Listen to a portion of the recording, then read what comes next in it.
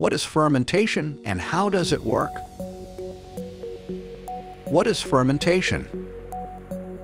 Fermentation is the metabolic process where microorganisms consume carbohydrates like glucose or starch to produce alcohol or acid. It was initially developed to stabilize and preserve perishable food, but is now also used to further improve the nutritional and functional traits of certain foods.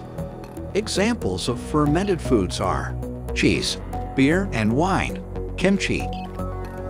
What are the two main types of fermentation? There are two main types of fermentation. Alcoholic and lactic acid fermentation.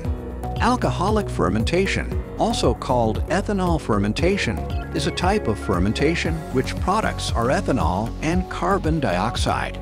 It is performed by yeast species, specifically Saccharomyces, for the production of alcoholic drinks such as beer and wine, as well as foods such as bread.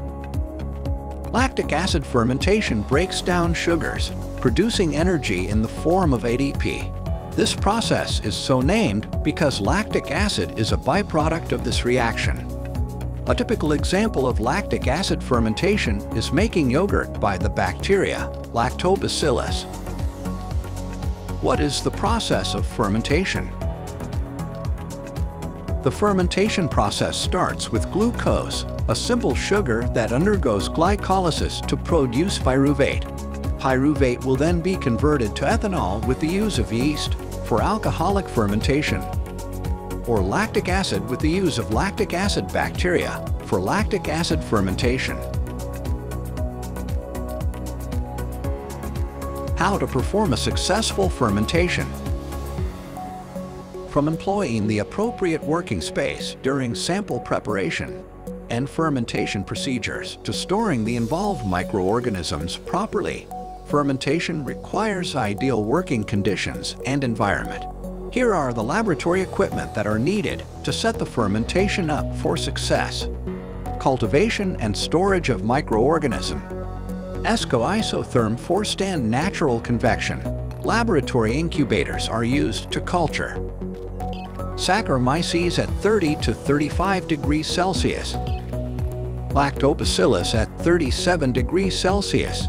These laboratory incubators are crucial for maintaining the optimum temperature and condition for the microorganisms to flourish. ESCO refrigerators and freezers are used to store Saccharomyces at negative 20 or negative 80 degrees Celsius, Lactobacillus at 4 degrees Celsius.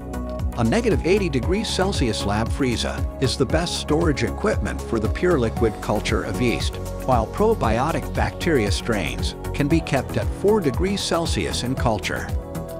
Sample preparation and aseptic techniques ESCO laminar flow cabinets are used for safe handling of microorganisms and avoid cross-contamination. It is designed to facilitate the aseptic transfer and smear of probiotic bacteria and yeasts onto solid media.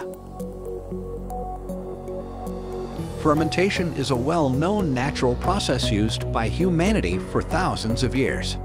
It is not only useful in food manufacturing, but also encompasses the production of desirable products, such as the generation of fuel from vegetable sources and more. And as the world progress for future discoveries in the science fermentation, so are the technologies. Find out more about the ESCO Life Sciences products through the links provided in the description below.